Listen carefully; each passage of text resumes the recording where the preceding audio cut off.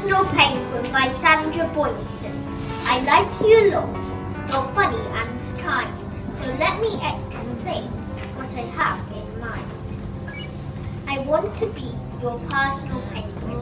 I want to walk right by your side. I want to be your personal penguin. I want to travel with you far and wide. Wherever you go, I'll go there too. Here and there and everywhere, and always with you. Now lots of other penguins seem to be fine. In the universe, I'm nothing but ice. But if I could be yours and you could be mine, a cozy little world would be twice as nice. I want to be your personal penguin. I want to talk with you night and day. I want to be your personal penguin. I want to listen to whatever you say.